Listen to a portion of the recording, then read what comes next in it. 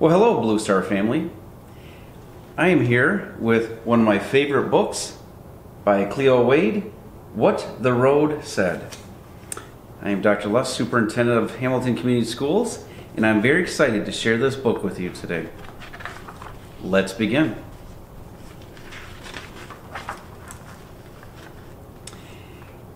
Have you ever wanted to go in a different direction?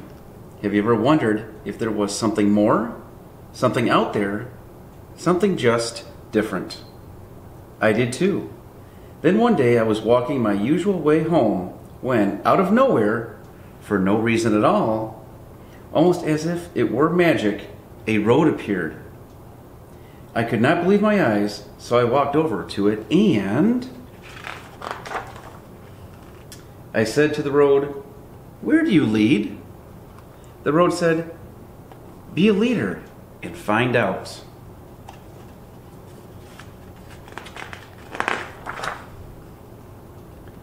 How do I start? I asked. The road smiled and said, You have already started. Well, what happens when I get there? We have just begun, said the road. Do not skip straight to the ending.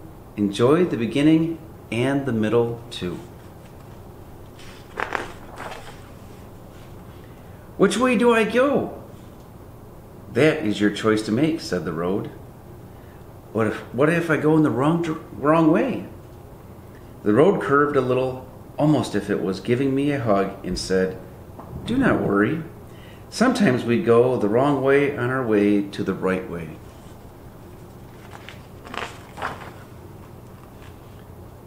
What if I get scared? That is okay. You are brave, said the road. But what does it mean to be brave? I asked. The road guided me through a very gloomy forest. Even though I was frightened, I trusted the road. And as I looked one step and then another step, after that, the road gently whispered, Being brave is when you're afraid of doing something, but you do it anyway. But do not let what scares you keep you from continuing on your path. Will I always move forward? Not always, said the road. Why not? Because sometimes you will stumble backward and sometimes you will stand still. What if I fall? Everyone falls at some point, said the road, but I will always, I will always be there when you land. What if I get lost? There may be some days that feel long and dark, said the road, but I promise that no matter what, I will give you the evening stars and morning sun to lighten your way. What if I grow weary of or get hurt? I will give you the trees of all shapes and sizes to shelter you when you need to rest and heal, said the road. What if I get lonely? You are never alone, said the road. What if I change? Come with me, said the road.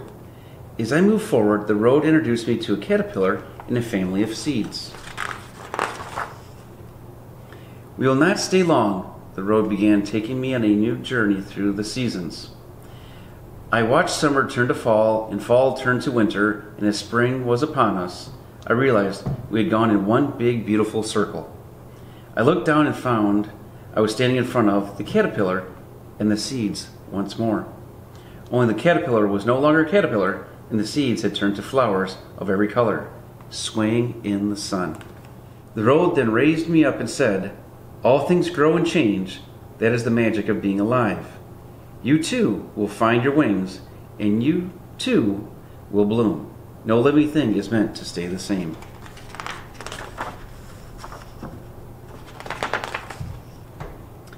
What if I need help on my journey? Ask your fellow travelers along the way. What if they are mean to me? Lead them to kindness, said the road. How? By being kind. What if they want to fight? Lead them to peace, said the road. But how do I lead them to peace? By listening to their stories, telling them yours, and reminding them you are all on this journey together. But if the world around us is filled with hate, lead it to love. How? By sharing the power of your love with it, said the road. What if something unexpected happens? Keep going. What if there are mount- mountains that feel too tall to climb? What if there are rivers that feel too wide to cross? What if I get my heart broken? What if I feel stuck?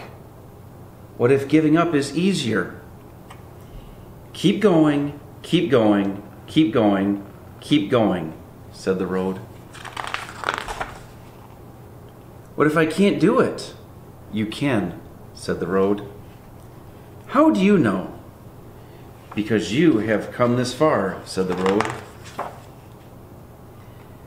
I said to the road, Where do you lead? The road said, Be a leader and find out. This is a great book, and I have really enjoyed reading it to you today. Hopefully, you will take this book and read it yourself.